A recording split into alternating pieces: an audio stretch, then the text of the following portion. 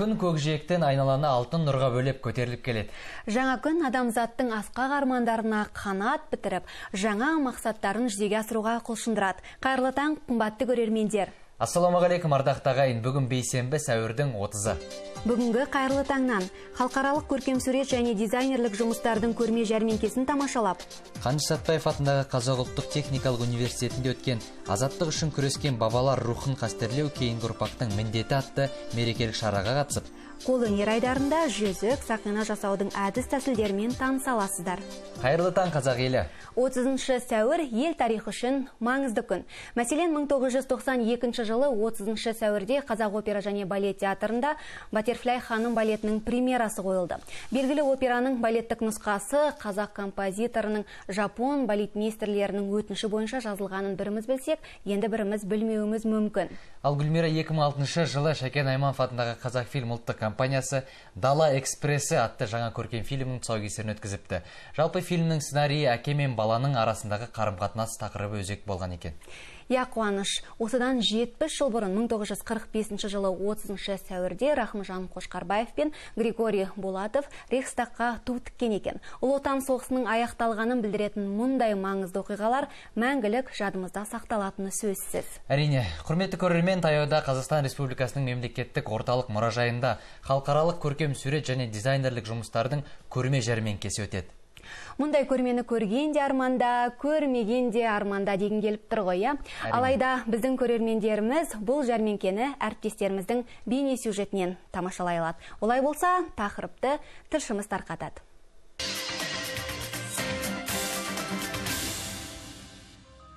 Бұл жобаға қатысушы шеберлер мен шығармашылық ұжымдар саны күн сайын артып келеді. Өйткені бейнелеу өнері индустриясы жобасының бағыттары мен тақырыбы кеңейе түсуде. Мұнда көз жауын алған құрақтардың өзін қарапайым ғана құрақ емес нағыз өнер туындысы деуге болады. Негізі арт индустрия ә, көрмесі әрқашанда осындай көп ұлттық дүниені біз мысалы насихаттап отырамыз. Бұл өзіміздің еліміздегі жаңағы ә, тұрып жатқан көптеген халықтардың да өнерін біз мысалы осылай насихаттаған насихаттау жолы деп та есептейміз.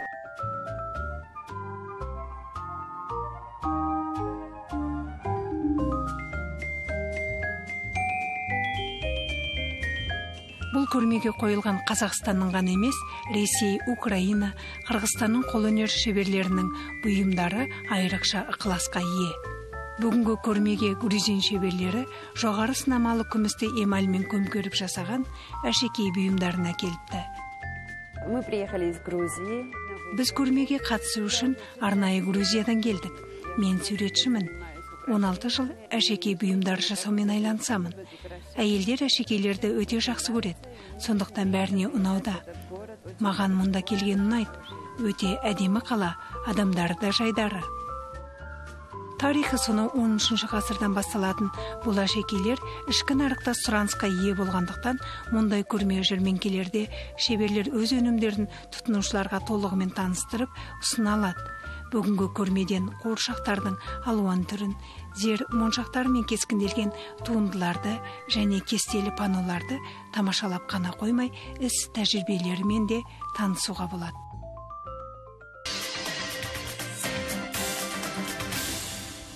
Қуаныш негізінен қазақтың зергерлері кезінде көздің жауын алатын ғажайып туындылар жасаған ғой. Иә дұрыс айтасыз. Көркі көз сүріндірер әшекейлер көбінесе таза күмістен жасалған. Қанша тақсаң да зеріктірмейтін зергерлік өнердің қайталанбас туындыларын көруден керемет әсерге бөленем. Иә гүлмира біздің әріптесіміз де бір біріне ұқсамайтын зергерлік бұйымдарды жасаушы шеберлерден сақина жүзік жасаудың құпияларын үйреніп келген екен. Олай болса әріптесіміз гүлнұр байменованың сюжетіне кезек берейік.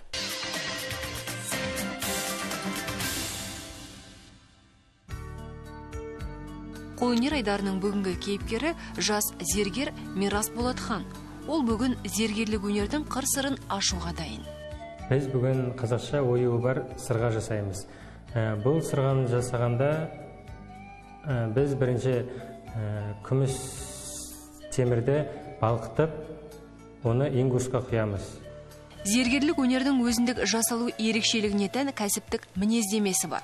Қазақ зергерлері көбіне жеке дара жұмыс істейді. Мысалы бүгінгі зергердің жұмысы яғни сырға қазақи нақышта күміс металдан дайындалады. Әрине белгілі зергерлік бұйымды дайындаудың өзі бірнеше кезеңнен тұрады. Сырға жасаған кезде біз бірінші күмісті құямыз. Одан кейін оны қатқанша күтеміз. Суығанша күтеміз. Оны вальцеден өткіземіз келесі этапта.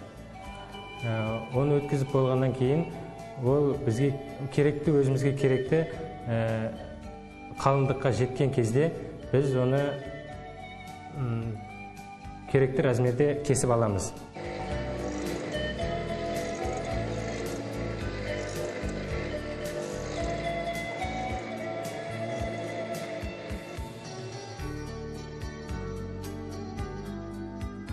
Өздеріңіз байқағандай оюды күміс металдың үстіне түсірудің өзі оңай шаруа емес. Ол арнайы құралмен сызылады. Қайта қайта бірнеше мәрте өлшенеді. Одан кейін металды арнайы тазалау керек.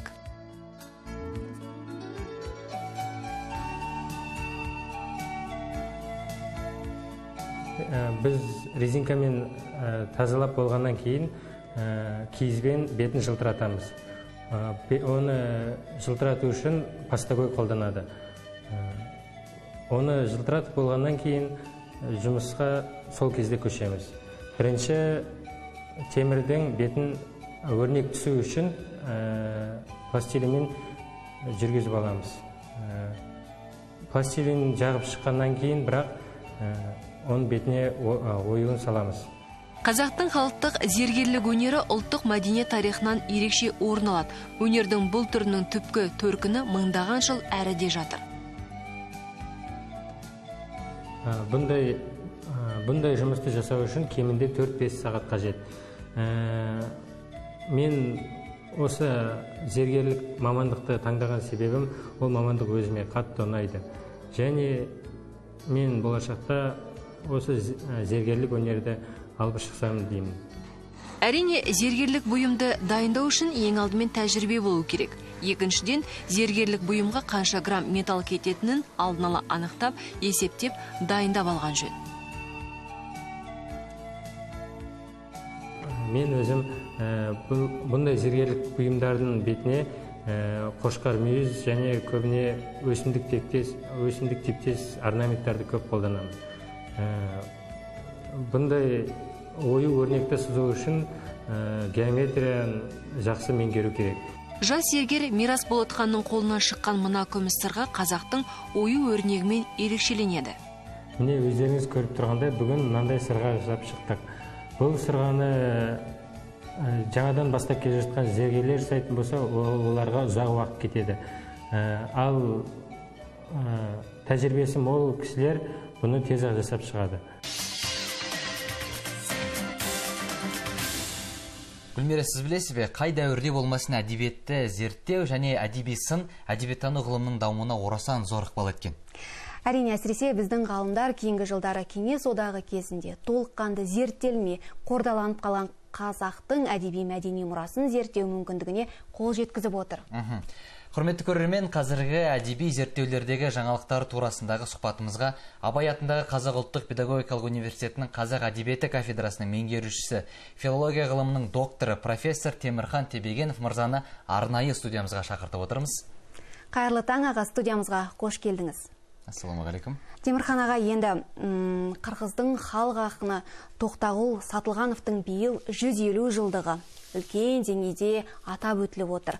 Осыған қатысты түркі түбі бір түркі халқы толығымен осы ақынның 150 жылдығын тойлауға мерекелеуге кірісті иә?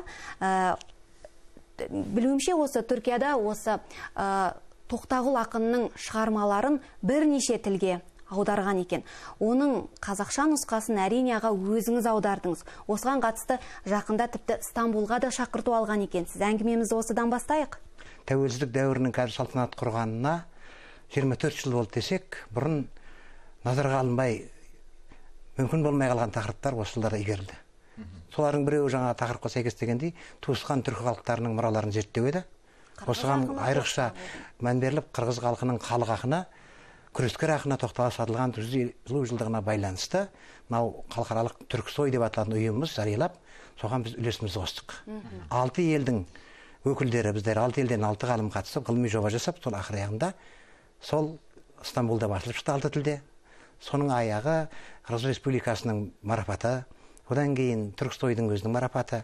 Сөйтіп бірнеше жерде бол бішкекте бакуде енді міне стамбулда бүкіл түркі дүниесі форумының арнайы жиынында біз сол алты ғалымға халықаралық қызыл алма сыйлығының лауреаты деп атақ беруге шақырып отыр. Жаңа тақырыпқа байланысты айтқанда осы қазіргі уақыттың зерттеулерінің бұрынғыдан қандай кеңеюі дегенде әрине бір уақытша тоқтап қалған тақырыптар болды. Бірақ кешегі тәуелсіздік соған кең жол ашқандай солар кең зерттеліп жатыр қаралып жатыр жазылып жатыр. Қандай тақырыптар? Әрине біріншіден туысқан халықтардың бірін бірі тануы жөніндегі өз ақындарын ұлықтауы одан кейін бұрын тыйым салынған мынау діни исламды дүниетанымды кеңінен жырлау сонымен қатар бір кездері біздің өмірімізде орын алған кейбір үлкен оқиғаларға байланысты үлкен үлкен тақырыптар қозғалып хандарымызды би шешендерімізді батырларымызды жеке жеке жеке шығармалар арқау еткен туындылар қарасы молайып жатыр. Соған сәйкес әрине зерттеулер де жаңа арнаға түсіп бұрынғы айта алмай келген сөздер айтылып халықтың яғни өзін өзі тануы өз тарихын тануы қолға алынып жатыр. Енді ә, қырғыздың халық ақыны тоқтағұлдың ә, шығармаларын ә, зерттеуге аға қалай келдіңіз? Тәуелсіздік жылдарының бірден басталуынан бір түркі халықтарының әдебиет дейтін пәнді жаңаша оқытуды қолға алдық та. Иә. Соның бағытында біз туысқан халықтардың ақындарын жазушыларын драматургтерін соны жан жақты оқыту дәріске арқау етіп айтуды қолға алғаннан кейін соның ішінде мен кейінгі жылдарда сол түркі халықтарының мұрасын оқыту мен зерттеу деген баяндамалар жасап анкарада ерзұрумда сондай жерлерге барып келген тұғымын соның аяғы айналып келгенде сол бұрын мақтұмқұл туралы баяндама жасаған енді тоқтағұлдың да мұрасына қызығып жүретін едім сол түркі халықтарының мұрасын зерттеу зерделеу бағытындағы менің кешенді жұмыстарының бір тармағы сәйкес келді да қуана құлшына осы жұмысты кірісіп жақсылап аударуға тырыстым. Енді осы аударма барысында ә, тоқтағұл шығармашылығының ә, жаңағы аудардыңыз ғой сол кезде қиындығы неде болды аға аударманың? Әуелде әрине маған ұсыныс айтылғанда ой қырғыз бен қазақтың тілі ұқсаспыз ғой Иә. апай аударып тастай шығармын деген ойменен құлшына кірісіп бір кетейін. Бір уақытта қарасам шындығы туысқан халықтар болғанымызбенен біздің ақынның жаны бөлек қой. Ақынның жан дүниесі өлеңнің түп нұсқасы. Тоқтағұлдың өзінің өлеңінде өрлемдерді ішкі ойларын аударған кезде жоғалтпай жеткізу мәселе алдына шыққаннан кейін әрине мен өзім де өлеңге қатысым бар адам бұрыннан аудармамен ептеп айналысатынбыз. А, осы жерде біраз қиындықтар болды бірақ соны жеңуге тырыстым. Қайтсем де ақынның өзінің түп нұсқалық өлеңдік нұсқасында ойларын көркемдік нақыштарын жеткізуге күш салдым. Аударма жаман шықпаған секілді оқырғандар жақсы бағалап жатыр. Қырғыз халқының ұлттық болмысын иә ә, жаңағы дәстүрін ә, сипатын бәрін бере алдым деп ойлайсыз ба аудармада? Мәселен кез келген ақын енді ә, қырғыз ақыны әрине қырғызша жырлайды. Дұрыс қой. Ол ә, табиғаты бөлек болмысы бөлек түбі бір түркі халық болғанымен. Толыққанды ә, жаңағы тоқтағұл ә, шығармаларын зерттеп отырып осы аударма барысында бере алдым деп ойлайсыз ба? Иә өзіме өзім әр уақытта сену мәселесі ғой хакім Иә. абай айтпақшы. Өзіңе сен өзіңді алып шығар ақылыңмен бірге екі сақтап дегендей.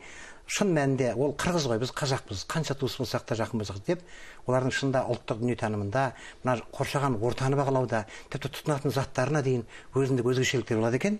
Мен соны барынша жеткізуге күш салып өзімнің мақсатыма жеттім деп ойлап шүкір алла деп жүрген жағдайым бар. Бірақ әрине бір сәтте тоқырап қалу емес мен енді сол қырғызтану ә, тоқтағұл тану жалпы қырғыз ақынының табиғатын аударуды зерттеу жалғастырамын деп отырмын. Өйткені әлі де сол аударудың барысында кейбір өзім босқалай дейтін жерлерім ойымда сақталып қалды. Оны болашақта ойлаймын игеремін ау деп ойлаймын. Ал аударма барысында аудару процесі кезінде ә, түйген ойларыңыздың? Қырғыз халқының ақынындағы негізгі ерекшелік өзінің халқының ұлттық салт дәстүрін өзінің этнография болмыс бітімін соны молынан суреттеуге айрықша мән береді екен. Осыны айрықша мен назарға алдым өйткені түйген ойым сол болды. Сонымен қатар қырғыз халқының ә, ақындарында да жалпы әлем ақындарында бар ғой бірақ қырғызда айрықша екен. Мына туған жер топырағы менен қырғыздың атамекен қоныстарының адам тағдырымен тікелей қатыстылығын үнемі сөз арқауына алып өзі соншалықты ә, былай көлемінің қандай екеніне қарамастан туған жерді ұлы отан санайтын ұлы ел санайтын көзқарас осы қырғыз ақындарына басым болады екен. Биыл біздің ә, жыр алыбы жалпы жамбылдың ұстазы болған жамбылдың пірі болған сүйінбай Аронұлының- аронұлының 200 жылдығын атап өтпекпіз. Осы сүйінбай аронұлы мен ә, тоқтағұл сатылғановтың шығармашылығының тақырыптары я болмаса шығармашылық құндылықтары ә, бір арнада тоғыса ала ма? Қалай ойлайсыз? Бұл екі ақынның табиғаты тектес. Енді әрине айырмашылығы өзінің туған елінде ортасында әлеуметтік ортадағы қайшылықтарға озырларға немесе кейбір зорлықшылдарға өктемшілдерге қарсы күрескен тоқтағұл сібірге айдалып кетті. Қашып келді. Енді әрине сүйінбай атамыз өзінің отанында болды. Бірақ екеуінде ұқсастық. Тап тоқтағұл мен сүйінбай да өз ортасындағы әділетсіздерді озырларды зорлықшылдарды рулас екен туысқан екен жерлес екен деп қарамай өткір тілмен сынағандығы айрықша үндес. Екеуі де күрескер ұлтын сүйген соншалықты отаншыл азамат ақындар.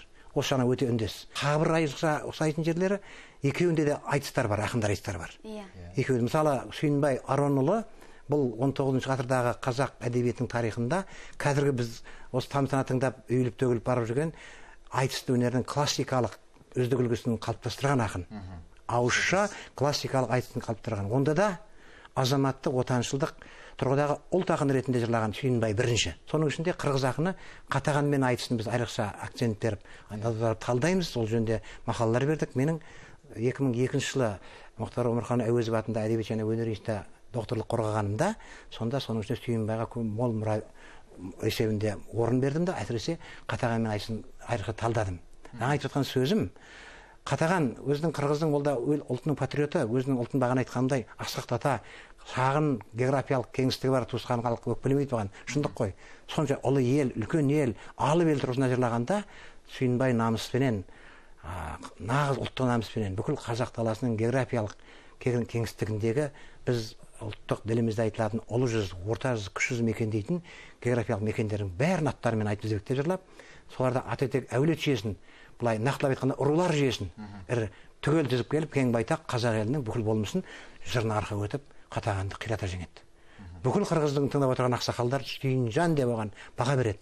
Мен сол тұрған келгенде бұл тоқтағұл сатылғанов пен сүйінбай аронұлы екеуінің арасындағы сабақтастық той өлең толғауларындағы азаматтық отаншылдық күрескерлік сыншылдық сарындығымен және айтыс өлеңдеріндегі көркем мәнерлілігіменен көркемдік қуаттылығымен онда да отаншылық азамат рухымен тектес. Ал э, темірхан мырза қазақ әдебиетінде жалпы әлі де лайықты деңгейде зерттелмей жүрген ақындар бар ма? Сонау 88 жылы да біз үлкен бір олжаға кенелдік. Ол әдебиетімізге қайта оралған алыптар деп алаш зиялыларының мұраларын қайтып қаулымен арнайы алдық білесіз жүсіпбек ә, ахмет байтұрсыновтың жүсіпбек аймауытовтың міржақып дулатовтың міне басқа да үлкен үлкен тұлғаларымыздың мұраларын шәкәрім құдайбердиевтің алып келдік та зерттеуге шұғыл кірісіп кеттік жинақтарын шығардық барлығы жақсы дұрыс. Енді осының қабатында енді қараңыз бізбен алыс жақын шетелдерде мекендейтін қазіргі қытай халық республикасының бер жағында орналасқан шыңжаң дейтін өлке бар. Ол бұрынғы тілімізше шығыс түркістан одан кейін моңғол жерінде біздің баянөлгий дейтін атырапта біздің қазақтарымыздың ата мекендері жатыр мекендеген мінекей одан кейін мына ресей жерінің омбы саратау деп аталатын өлкелерінде біздің ата мекендеріміз жатқан би шешендердің ақын мұралары жатыр. Осы мұралардың сосын өзбекстан жеріндегі біздің ата мекендеріміздегі қазақтардың әдеби мұралары тап осы мәселелер енді жаңағы біз қайта оралған алыптар зерттеп жатқан кезде Иә. солармен тектес деңгейлес кезеңдес ақындарымыздың мұраларын соны зерттеу зерделеу аса өзекті болып тұр. Сол жер елдердегі жекелеген ғана ғалымдар зерттеген болып айтқан болып өз әрекет жасап жатыр. Оларда баспасөз бар оларда зерттеушілер бірақ оған біртұтас біз тұтас қазақ ғалымдары қазақ зиялылары тұтас кіріспесек игерілмей қалау деген қауіп бар. Жалпы әдебиеттану ә, қоғамдық әлеуметтік мәселелер бойынша 300-ден астам ғылыми мақалаңыз және кітаптарыңыз шығып жатыр. Бүгінгі таңда ә, әдеби зерттеулер қандай бағытта жүргізілуде? Тәуелсіздік дәуірінің жаңа әдебиет деген мәселе. Біз осыны енді сол кешегі 91 жылы 20 ғасырдың 90 жылдары менен 21 ғасырдың қазір басындағы тәуелсіздік дәуіріндегі жаңа әдебиет дегеніміз тұр. Поэзия проза драматургияда бағана айттым ғой. Бұрын қозғалмай қалған. Қозғалса да сол кездің саясатына бейімделіп қана қозғалған. Атақты хандарымыздың көркем бейнелене арналған туындылар атақты батырларымыздың көркем бейнеде сомдаған туындылар драматургияда кезінде әуезов хан кене деп бастады ілияс есенберлин көшпенділерінде бастады. Соларды толыққанды қазір қалпында зерттеп зерделеген туындылар шығып жатыр. Керемет эпикалық шығармалар дастандар поэмалар романдар пьесалар. Міне осыларды біз зерттеп зерделеп ғылыми айналымға айналсақ поэтикалық зерттеулер дегенде біз әдебиеттану ғылымының бұрыннан қалыптасқан классикалық үлгісінен айнымаймыз ғой. Бірақ бізге сексен сегізінші жылы қайта оралған ахмет байтұрсыновтың әдебиет танытқыш деп аталатын атақты кітабы келді. Біз оған біз таныс емес едік. Онымен беймәлім жағдайда кездестік. Бірақ қазір соны ғылыми айналымға европалық әдебиеттану ғылымының қисындарымен бірге өріп пайдалану керек болып тұр. Неге десеңіз зерттеулерімізде айталық ахмет байтұрсынов ұсынған терминология бойынша біз қазір эпос деп сөйлейтін болсақ лирика драма дейтін болсақ әдебиеттану ғылымының негізгі текті түрлері. Соны ахмет байтұрсынов эпосты әуезі деді ал лириканы толғау деген ал драманы айтыс тартыс деген. Соның ішінде әсіресе маған қатты ұнайтыны мына енді жарайды романды ұлы әңгіме деді ұзақ әңгіме деді повесті әңгіме деді. Ал мынау лириканы талдаған кездегі өлеңдері біздің мына европалық көңіл күй лирикасы махаббат лирикасы табиғат лирикасы дегенге кей жағдайда кей өлеңдер келмейтін тұғын мен соны ойланатын сөйтсем ахмет байтұрсыновтың кітабындағы мынау намыс толғауы налыс толғауы сұқтаныс толғауы марқайыс толғауы ойламалдау сап толғау деп аталатын толғаулармен біздің өлеңдерге салып қалыпқа қарағанда сол сәйкес келетін секілді. Сондықтан қазіргі әдебиеттану ғылымындағы жаңа бағыттар осы ахмет байтұрсыновтың әдебиет танытқышындағы терминологияны негіз назарға ала отырып назарға алынбай келген біздің қазақ өлеңінің қазақ прозасының қазақ драматургиясының жаңа туындыларын зерттеу зерделеу жалғасып жатыр. Аға жаңа бағдарламамыздың басында сұхбатымыздың басында айттыңыз ә, тек қана зерттеулермен емес өзімнің шығармашылығымда өлең жазумен де айналысамын дедіңіз. Иә иә жалпы біздің студиямызға келген қонақта негізі қонақ кәде сұрайтын бір дәстүріміз бар. Ендеше біздің ақын келсе жыр сұраймыз. әрине бүгінгі таңғы көрерменімізге өзіңіздің ә, репертуарыңыздан өзіңіздің шығармашылығыңыздан бір өлең жолдарын оқып берсеңіз. Мен енді әдебиеттануға әдебиет зерттеуші болуға әуелде жоғары оқу орнына қазақ тілі әдебиетінің мамандығын таңдауыма да бір сондай ет пен терінің арасындағы жел болса керек деп ойлаймын. Иә. Бірақ өлеңді әр кезде бір көңіл күй жағдайында бір әртүрлі жазып жүреміз ғой бірақ ізіне түспегеннен кейін мына үлкен зерттеуші қауымның алдында ақындардың алдында адам қысылады өлең оқуға. Дегенмен мындай бағдарламаға сәйкес тұрағасын енді тақырыпқа сәйкес бір екі бір айтайын бір ақпейіл досым айтайын сізге ашылып. Қалайша бұл сәт отырамыз сырды жасырып. Ақтарып сырды басайыншы мауқымды. Алаң көп жүрген мазасыз ойды қашырып семья қызмет бәрі де сайлы келсе де желмая шабыт екпіндеп тынбай желсе де мазасыз көңілім бәрібір тағат таппайды енжарлық ойды жолатпай кеуде еңсеме қарасам артқа тындырған ісім тамшыдай сондықтан келем жігерді сүйреп қамшылай не керек шіркін найзағай болып жарқылдап қыран боп көктен құйылып өрден шаншылбай. Қаным бар қызу алысқа шабар тұлпардай. Шағым бұл қазір қияға өрлер сұңқардай. Сондай боп жүріп мағынасы өтсе бір күнім өкінем бейне қалғандай сен бір жармай. Шыным бұл менің тұтанбай әлі келемін. Бір игі жұмыс жасаймын әлі сенемін бір келер өмірім халқыма тисе пайда боп өмірім босқа өткен жоқ онда дер едім. Бәрекелді тамаша. Темірхан мырза енді бүгін алтын уақытыңызды бөліп студиямызға келгеніңіз үшін үлкен алғысымызды білдіреміз. Сізге тек қана шығармашылық шабыт тілейміз. Үлкен рахмет. Ал құрметті көрермен біз хабарымызды одан әрі жалғастырамыз. Биыл еліміз ұлы жеңістің 70 жылдығын мерекелейді. Осы орайда қаныш сәтбаев атындағы қазақ ұлттық техникалық университетінде азаттық үшін күрескен бабалар рухын қастерлеу кейінгі ұрпақ міндеті атты мерекелік шара көпшіліктің көңілінен шықты. Әсіресе біздің жауынгерлердің майдан даласында көрсеткен ерліктерін еске түсіру жастардың отаншылдық сезімін оятып керемет әсерге бөледі. Олай болса сөз кезегін әріптестерімізге береміз.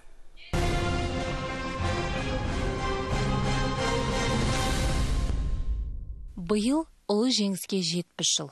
Барды жоқ етіп тауды жер еткен сұрапыл соғыс майданда қолына қару алып қырғын қан төгісте жан тапсырған батыр азаматтар қаншама.